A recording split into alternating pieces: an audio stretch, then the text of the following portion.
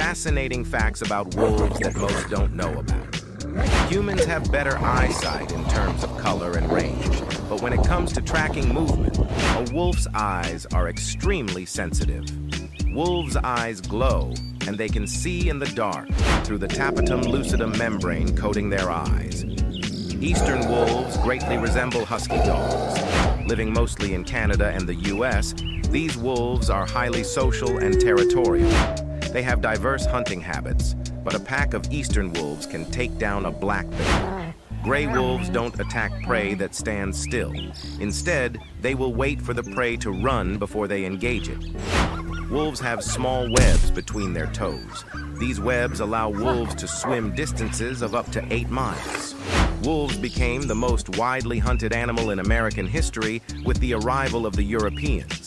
By the beginning of the 20th century, they were nearly extinct.